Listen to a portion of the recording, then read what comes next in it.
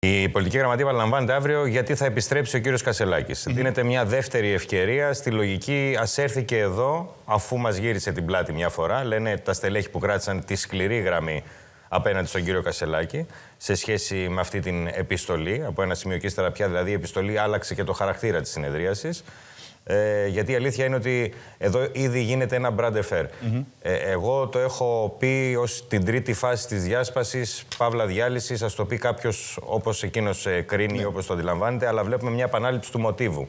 Δηλαδή, μία προωθημένη ρητορική, μία εξώθηση με οποιονδήποτε τρόπο από την πλευρά του Προέδρου ε, σε μια κίνηση ε, που νομίζω όχι απλά ευνηδίασε, αλλά αλλάζει το χαρακτήρα, τη δομή, τη φυσιογνωμία, την ψυχή του ΣΥΡΙΖΑ. Να αλλάξει όνομα, που είναι ΣΥΡΙΖΑ. Το έχει φτιάξει ο άνθρωπος τον οποίος, τον οποίο το παρέλαβε στον Αλέξη Τσίπρα μετά από 15 χρόνια ηγεσίας, το παραδίδει σε θέση αξιωματικής αντιπολίτευσης. Να αλλάξει σήμα. Το σήμα άλλαξε μόλις πέρυσι πριν ένα χρόνο και κάτι, το περασμένο συνέδριο.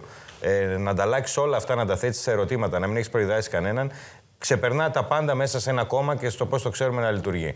Γίνεται ένα προσωποκεντρικό πράγμα. Σε αυτό υπήρξε μεγάλη ένσταση. Ήρθε και αυτή η επιστολή, ουσιαστικά του ρίχνει όλη την ευθύνη για την κακή εικόνα του ΣΥΡΙΖΑ σε ένα πολιτικό όργανο και στα μέλη του. Νομίζω και αυτό είναι πρωτοφανές σε αυτή τη συζήτηση. Όπως πρωτοφανές είναι να μαζεύονται τα κορυφαία στελέχη ενός κόμματος στα γραφεία του κόμματος να καλούν τον πρόεδρο και ο πρόεδρος να στέκεται απέναντι. Ναι. Και, να, και ουσιαστικά να νιώθουν τα στελέχη, όπως έλεγαν οι περισσότεροι από αυτούς, ότι ουσιαστικά τους αντιπολιτεύεται ναι. όταν τους χρεώνει την όλη ε, κατάσταση που έχει περιέλθει ο ΣΥΡΙΖΑ. Σαν να μην υπάρχει πρόεδρος ουσιαστικά στο κόμμα. Ναι, έλα, αυτό είναι μια τακτική, να πω αυτό ναι, και ναι, κλείνω. βεβαίως. είναι μια τακτική του κυρίου Κασελάκη, ε, η οποία ακολουθείται, επικαλείται και μετέχεται κάθε τρόπο και κάθε ε, εφιολογήματος ή τεχνάσματος ή με κοινωνιακό τρόπο Ναι. πάντα μιλώντας, για να μεταθέτει την ευθύνη πάνω στους άλλους που δεν ακολουθούν τις να, νέες του να ιδέες. πω κάτι στη σκέψη σου. Ε, εδώ βέβαια από την άλλη πλευρά, για να κάνω και το συνήγορο του διαβόλου, ίσως και να είναι από ό,τι έχω παρακολουθήσει εγώ, γνωρίζουν και οι άλλοι συνάδελφοι το πολιτικό ρεπορτάζ,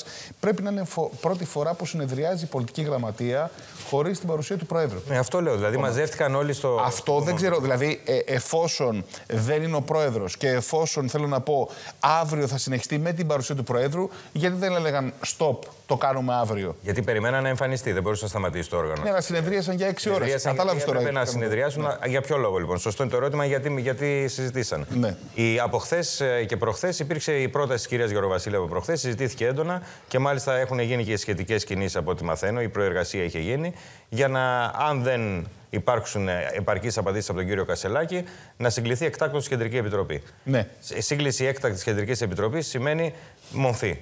Τουλάχιστον.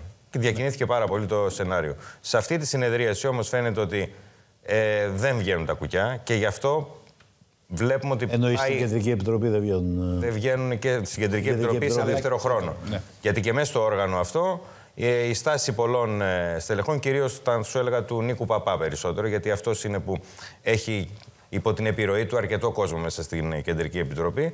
Ο κύριος Παπάς ναι, μεν ήταν στη σκληρή γραμμή, δηλαδή σκληρή κριτική, γιατί ο κύριος Κασελάκης δεν βάζει πουθενά ερώτημα για το τι έχει κάνει ο ίδιος, να πάρει κρίση από τα μέλη, αλλά ταυτόχρονα δεν είναι και υπέρ της μορφή σε μια φάση που πας για συνέδριο και πας για ευρωεκλογές. Μάλιστα. Και, νομίζω, και θυμίζω ότι ο κύριος Παπάς είναι ο στρατηγός της νίκης Ναι. Κασελάκη. Θέλω να δούμε- Δεν είχε όμως δίπλα Ναι. του, συγγνώμη Ναι. και θέλω Ναι, να ναι, το πω ναι, ναι. αυτό, τον Παύλο Πολάκη.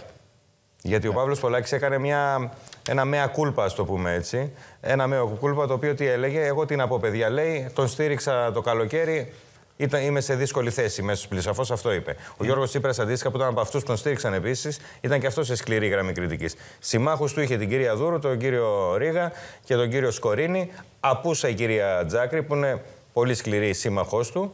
Με να δούμε αν αύριο και αυτή θα εμφανιστεί. Αν εμφανιστεί ο κύριος Κασελάκης αύριο, θα έχει ενδιαφέρον η πολιτική γραμματεία πια σε πολιτικό επίπεδο, γιατί την Κεντρική Επιτροπή μάλλον πρέπει να την ξεχάσουμε. Δεν υπάρχει και ο χρόνος πια και δεν υπάρχουν και οι συσχετισμοί για να. Ναι, μεν μπορεί να την προκαλέσει με 75 μέλη της Κεντρικής Επιτροπής, αλλά θέσει τους 150 συν 1 πια για να περάσει μια μορφή. Ραντεβού στο συνέδριο. Έλα να